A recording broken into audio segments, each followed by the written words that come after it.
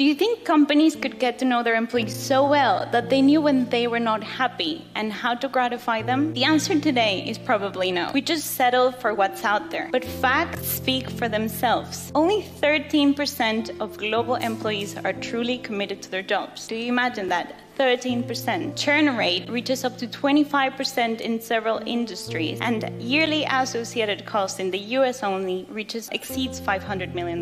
Through this, companies still use outdated practices, old processes, and no tools nor relevant data to respond to today's demanding talent market. Today's talent practices are executed by people like you and I who take high stakes decisions based on their own assumptions, what is called an unconscious bias, and most of the time reacting rather than proactively and strategically answering to talent needs, which leads to rushed decisions to one third of new hires quitting their jobs after only six months.